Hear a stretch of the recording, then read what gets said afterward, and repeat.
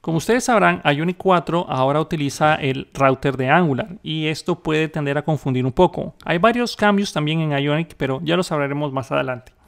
Ok, lo que les voy a pedir ahora para hacer este ejercicio es que nos creemos un nuevo proyecto de Ionic. Yo voy a suponer que ustedes ya lo tienen instalado, ok. Para eso voy a hacer una navegación al escritorio y aquí es donde voy a crear el proyecto. Ionic Start se va a llamar Router App espacio y va a utilizar el template blank porque no quiero que tenga nada, todo lo quiero crear yo. Presiono Enter. Como en este momento todavía sigue siendo una beta, me está preguntando que si quiero utilizar la beta, yo voy a decir que sí, para que utilice las funciones del Angular, Router y todo lo nuevo.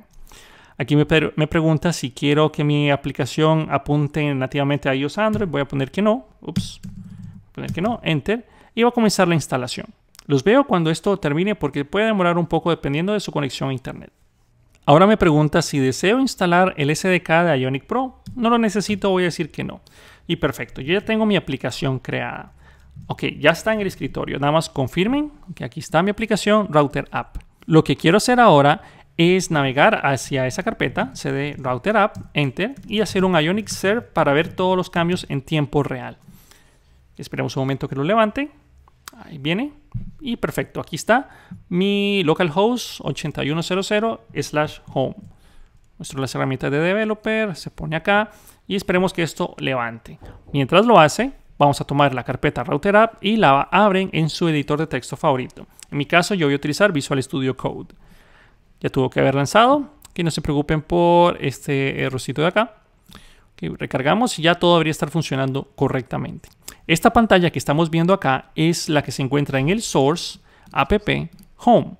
Vamos a hacer un par de modificaciones aquí en el home y redireccionemos a la pantalla 2 que ya vamos a crear. Ocupamos hacer algo para que este ejercicio sea un poco más interesante, como por ejemplo mandar un argumento de la página 1 a la página 2.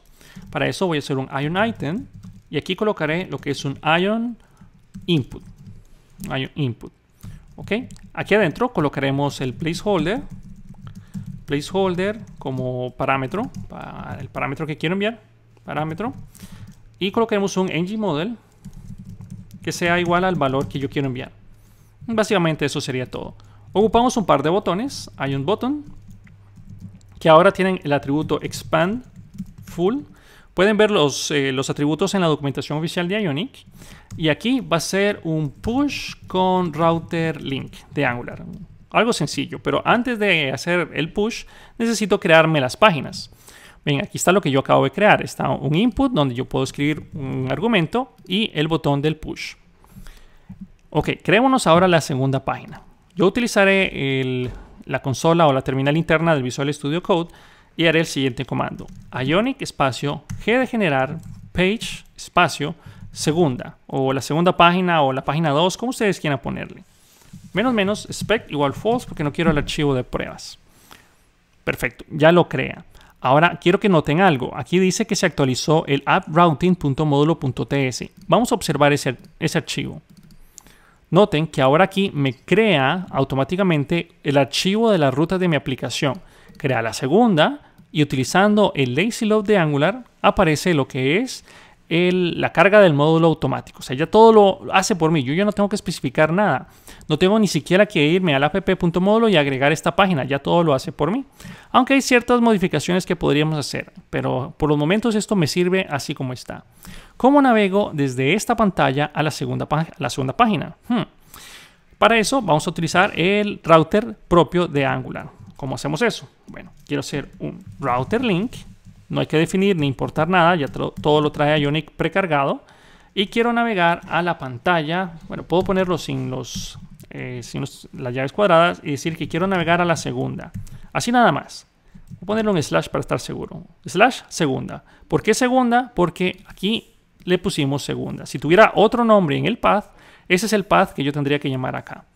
Perfecto. Entonces esto tuvo que haber recargado toco y abre la segunda página. Perfecto. Regreso y estoy acá. Si yo quisiera mandarle un argumento a la página 2, entonces lo tengo que definir en la ruta por el URL en este caso. Voy a poner un slash y voy a mandarle el ID. ¿Ok? Este ID es lo que sea que yo escriba en esta caja de texto. Ok, ¿cómo hacemos eso? ¿Cómo lo haríamos normalmente en Angular? Ok, voy a poner esto entre llaves cuadradas y esto va a estar también como si fuera un arreglo de esta manera, coma, y voy a mandar el valor. Claro, obviamente el valor me está marcando un error porque en la parte de mi home component o mi home page yo no lo tengo definido. Lo voy a definir de esta manera. Valor va a ser igual a sin valor. O voy a ponerle, qué sé yo, su nombre, por ejemplo, Fernando.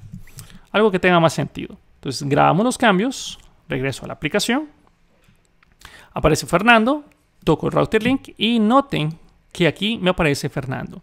Puedo regresar, poner otro valor acá, cualquier cosa, toco y ahora tengo ese cualquier cosa en la página 2. Para leerlo en la página 2 es de la siguiente manera. Como ahora esto se parece casi casi, bueno, es casi igual a una aplicación de Angular, entonces lo podemos leer como si estuviéramos directamente en Angular y no en Ionic, aunque también tendremos el nav params igual que siempre, pero podríamos hacerlo de la siguiente manera también. Puedo decir, vamos a crearnos una variable llamada argumento. Argumento, le voy a inicializar un valor nulo. En el constructor puedo decir private activated activated route de tipo activated route. Route. Que esto viene de Angular Router. Ahora, en el ng voy a decir que el this.argumento va a ser igual al this.activatedroute.snapshot porque solo quiero tomar lo que es el URL actual, no me interesa suscribirme a los cambios porque no van a cambiar de esa manera. Ok, simplemente quiero el valor actual, punto o parangmap.get y quiero obtener el ID. Este string ID es lo que sea que ustedes le hayan puesto acá. Si lo pusieron otro nombre en lugar de ID, eso sería lo que tienen que poner acá. Perfecto, entonces este argumento yo ya lo puedo usar en el HTML de mi segunda página. Por ejemplo, voy a poner esto en H1 y pongamos el argumento ahí. También puedo poner el argumento en el título si así lo deseo. Voy a grabar los cambios, vamos a ver si esto funciona. Noten que va a recargar y sigue en el mismo lugar, por eso es que aquí aparece ese nombre. Si yo regreso y escribo, bueno, en este caso Fernando y toco el router link, ahí aparece Fernando. Hay otras formas de navegar, porque aquí estoy usando el router link directamente del HTML, pero esto es el menor de los casos, o sea, muy pocas veces va a suceder esto. O no va a ser la mayoría. Normalmente haremos una función que nos navegue después de procesar la información a otro lugar. Entonces hagamos otro botón. Hay un botón, o saben que mejor copiamos esto más rápido. Y quitemos este router link, no lo vamos a utilizar así. Vamos a crearnos un método click y se va a llamar push segunda, o el nombre que ustedes quieran ponerle a esta, esta función. Push segunda, voy a poner aquí push con router, router angular. Entonces lo que quiero hacer es que este método push segunda utilice el router de Angular para navegar a la siguiente página. Para utilizar el, componente de Angular Router necesito inyectarlo. Constructor, abre y llaves. Voy a poner private router de tipo router. Asegúrense de importarlo de Angular Router. Ok, aquí puedo decir lo siguiente. this.router.navigate paréntesis, y esto es exactamente el mismo, mismo lugar o la misma forma como se hace en una aplicación tradicional de Angular. Entonces quiero navegar, a la segunda, coma, y el argumento que le quiero mandar es el dis.valor. punto y coma. Ok, normalmente esa sería la, la, forma de hacerlo. También existe el nav controller, ya lo vamos a utilizar. Entonces estoy ahora push con router de Angular. ¿Ven? Y entro a la segunda página. Perfecto.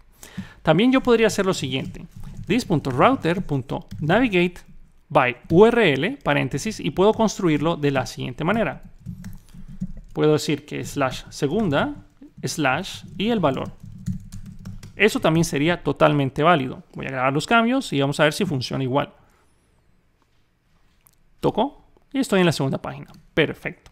Creo que la última que me falta o la última que quiero hacer es utilizando el bien conocido nav controller si ya han trabajado con Ionic 3 o Ionic 2. Voy a poner aquí push segunda nav ctrl. Push con nav ctrl o nav controller. Vamos a copiarnos este método, lo vamos a implementar acá. ¿Ok? Y para utilizar el nav controller hay que inyectarlo. Private nav ctrl de tipo nav controller. Tab, asegúrense que no importe de Ionic Angular. Perfecto. ¿Cómo lo hacemos? this.navcontroller. Y aquí tenemos ahora navigate forward y también tenemos navigate back. Estas dos básicamente es la transición que ustedes quieren darle a la animación de, pasar de una página a la otra. Utilicemos Navigate Forward, paréntesis, y viene la ubicación donde nosotros queremos ir. En este caso, igual como lo tenemos aquí arriba. Slash, segunda, slash, el argumento que recibe la página.